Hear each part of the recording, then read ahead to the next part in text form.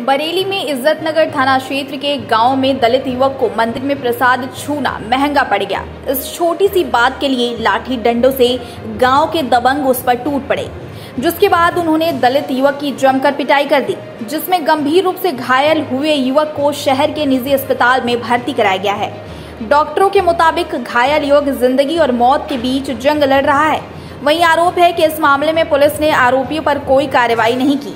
साथ ही दबंग लगातार उसके परिवार को धमका रहे हैं। दरअसल इज्जतनगर थाना क्षेत्र के डंडिया गाँव निवासी दलित युवक डालचंद ने बताया कि उनके गाँव में भागवत कथा का कार्यक्रम चल रहा है, जिसमें उनका रिश्तेदार भी पहुँचा था, जिसने वहाँ मंदिर में रखा प्रसाद छू लिया। इस बात से आग बबूला हुए गाँव के कुछ लोग उसको जाति सूचक गालियाँ देने लगे, जिसका विरोध करने पर लाठी डंडों से सभी ने उसे इतना पीटा कि वह गंभीर रूप से घायल हो गया।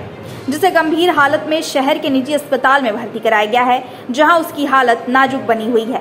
पीड़ित ने इसकी शिकायत इज्जतनगर थाना पुलिस से की लेकिन पुलिस ने कोई कार्रवाई नहीं की।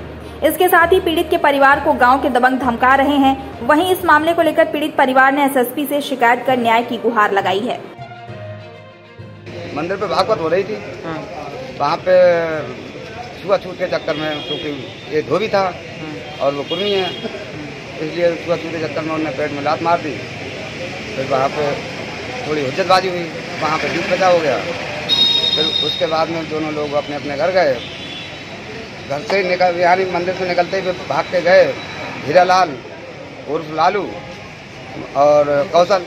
हमने तीनों ने उसे खूब मारा बिल्कुल जान से मार दिया एक समझो आज साहब से मिलने आया क्या कहा?